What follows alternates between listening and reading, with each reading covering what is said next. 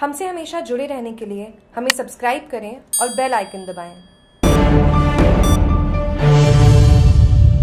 विधायक जगसी राम कोहली ने सूखा प्रभावित क्षेत्रों का जायजा लेने आए अधिकारियों से की मुलाकात नागानी रेवसर विधायक कोहली ने अंतर मंत्रालय केंद्रीय दल कृषि एवं परिवार कल्याण विभाग के निदेशक आरपी सिंह, रेगा ग्रामीण विकास विभाग नई दिल्ली के अवर निदेशक दीप शेखर सिंघल व चारा, कृषि वैज्ञानिक पशुपालन एवं डेयरी विभाग नई दिल्ली के विजय ठाकरे सिरोही प्रवास के दौरान रेवसर विधायक जगसीराम कोहली ने मुलाकात कर रेवसर विधानसभा क्षेत्र को सूखाग्रस्त घोषित करने की मांग की। रेवसर विधायक जगसी राम कोहली व जालोर सिरोही सांसद देवजी पटेल ने अंतर मंत्रालय दल को लिखित पत्र प्रस्तुत कर रेवतर विधानसभा क्षेत्र के सूखा प्रभावित होने की जानकारी देते हुए बताया की लंबे समय से बारिश नहीं होने के कारण क्षेत्र में सूखे से किसाने परेशान हैं। राज्य सरकार की ओर से ज़िले की रेवदर विधानसभा क्षेत्र को सूखाग्रस्त घोषित नहीं करने से किसान वर्ग में भारी रोष एवं आक्रोश के साथ ही मायूसी छाई हुई है विधायक कोहली ने ज्ञापन देकर रेवदर विधानसभा को सूखाग्रस्त घोषित करने की मांग की है ये रहे मौजूद सिरोही विधायक संयम लोढ़ा, जिला कलेक्टर भंवरलाल सिरोही,